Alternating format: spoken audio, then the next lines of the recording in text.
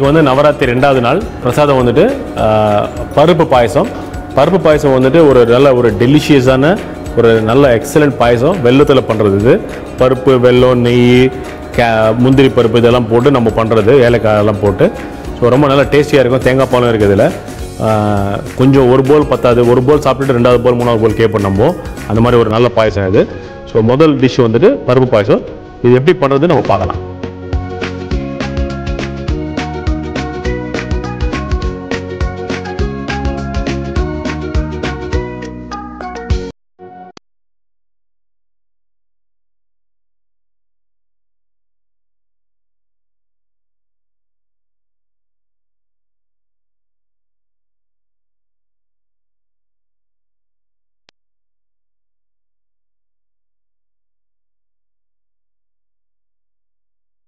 பாசிப்பயிர் ரெடியாக இருக்குது.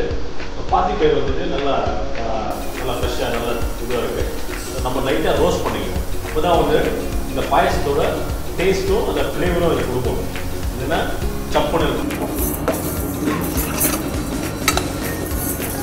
ஸோ இந்த பாசிப்பயிறு நல்லா இப்போ நல்லா ரோஸ்ட் பண்ணி நல்லா பாருங்கள் செவக்க நல்லா வறுத்துருக்கோம் நம்ம.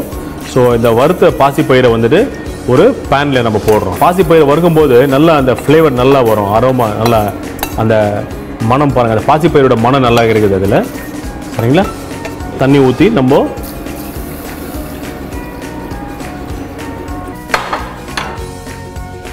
தண்ணி ஊற்றி இதை பாயில் பண்ணுறோம் நம்ம.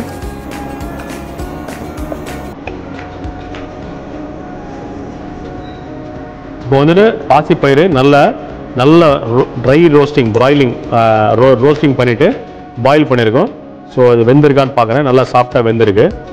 சாஃப்டாக நல்லா குக்கான பாசிப்பயிறு அஹ், கொஞ்சம் மேஷியாகவும் இருக்கலாம். ரொம்ப கொ- ரொம்ப பேஸ்ட்டு இது பியூரே மாதிரி ஆகிடக்கூடாது இது வந்து நல்லா கொஞ்சம் பருப்பு கொஞ்சம் அப்படியே முழுசாக கொஞ்சம் பல்லில் படுற மாதிரி இருக்கணும். அந்த மாதிரி நல்லா சாஃப்டாக வேக வச்சு பாத்தி பயிர் ரெடியாக இருக்குது தேங்காய் பால் வெல்லம் பாகு கொஞ்சோண்டு ஏலக்காய். இதெல்லாம் நம்ம மிக்ஸ் பண்ணிடுறோம் இதில். சரிங்களா?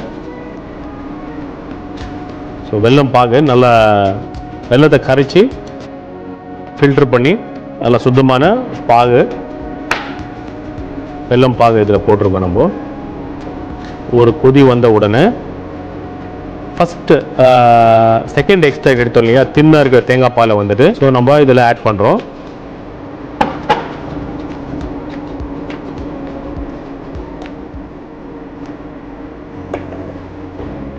பாசிப்பயிறு பாயசம் ரெடியாக இருக்குது நல்லா பாயில் பண்ணி நல்லா ஃபஸ்ட்டு தேங்காய் பால் ஊற்றி நல்லா திக்காக வெல்லம் போட்டு நல்லா ரெடியாக இருக்குது இப்போ இது நம்மளுக்கிட்ட. ஸோ இப்போ நம்ம வந்து இதில் வந்து ஏலக்காய் பவுடர் போடுறோம். சரிங்களா? ஏலக்காய் பவுடர் போடுறோம். லேசாக மிக்ஸ் பண்ணிவிட்டு இந்த திக்கான இருக்க தேங்காய் பால் இருக்குது இல்லைங்களா? ஸோ இப்போ நம்ம லாஸ்ட்டாக இதை ஆட் பண்ணுறோம் நம்ம. சரிங்களா?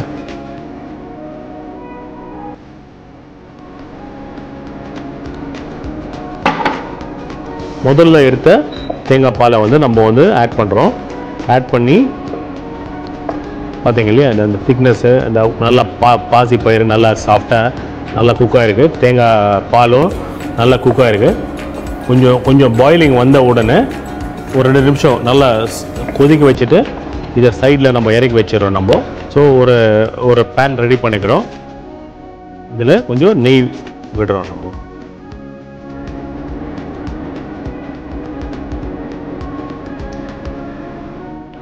ஸோ நம்ம இந்த நெய் சூடான உடனே முந்திரி முந்திரி பருப்பை நம்ம போடுறோம். நல்லா கொஞ்சோண்டு நல்லா ஒரு பொன் முருவலாக கோல்டன் ப்ரௌன் கலர் இந்த கேஷ்நட் கொஞ்சம் ஃப்ரை ஆன உடனே காஞ்ச திராட்சை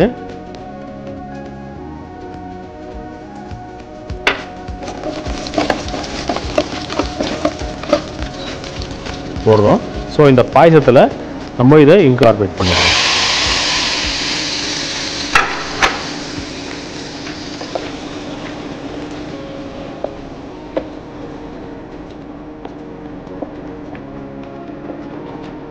ஸோ பாசிப்பயிறு பாயசம் நமக்கு ரெடி இப்போ.